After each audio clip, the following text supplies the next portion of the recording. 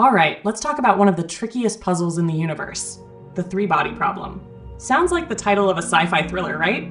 Well, it kinda is. Here's the deal Imagine you've got three massive objects, say stars or planets, gravitationally interacting with each other. Sounds simple? Nope. It's chaos. Unlike two objects, which follow predictable orbits, when you add a third, the system turns into a cosmic dance off where no one can agree on the choreography. Scientists have been scratching their heads over this since Isaac Newton's time. Even with supercomputers, we can only predict these orbits for so long before things go completely bananas. And here's where it gets wild the three body problem isn't just theoretical, it's real.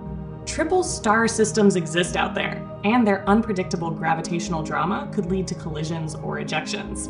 It's like the universe's own soap opera. Want to dive deeper into space's biggest mysteries? Subscribe and let's keep exploring the cosmic chaos together.